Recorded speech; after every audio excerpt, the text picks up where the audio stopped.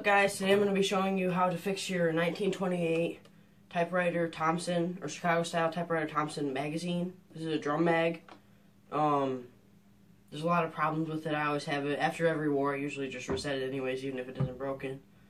But, okay, you're going to need a small Phillips screwdriver and I like a big one just to go through. Okay, so first thing you want to do is see there's a little push tab on the front. You're going to want to pull that up and slide your thing off. Okay.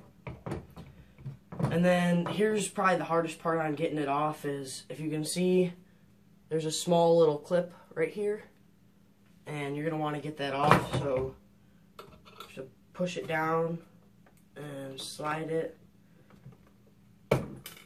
Okay, so now I got that off. It's a little small thing. Um, and then you're going to have a front cover on it.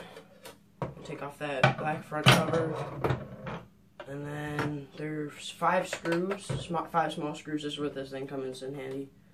So make sure, be careful not to strip them. You gotta turn them, make sure they're all loose.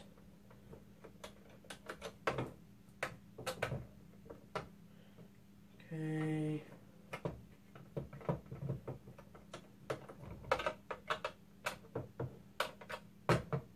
Almost got them.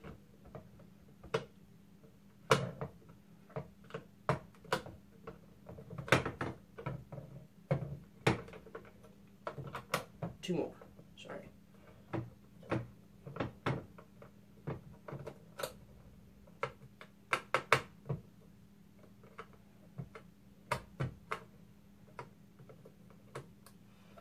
And then now that I got all these screws undone, you're going to want to pull this out very carefully. Make sure none of your screws come out.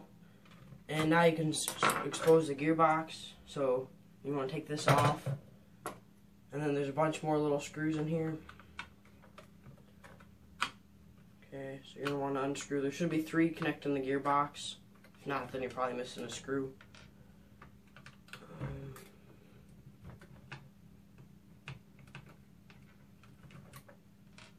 two, and three.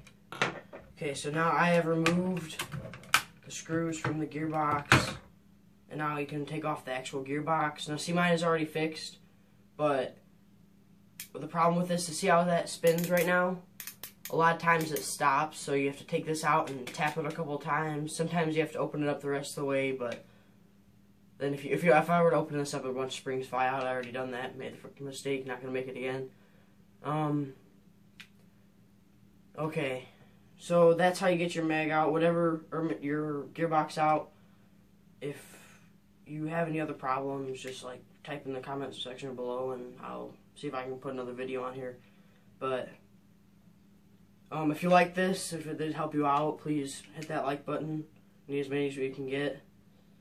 And also type in the comments section below if you would like me to do a shooting review on the 1928 Thompson review or review on the 1928 typewriter Thompson.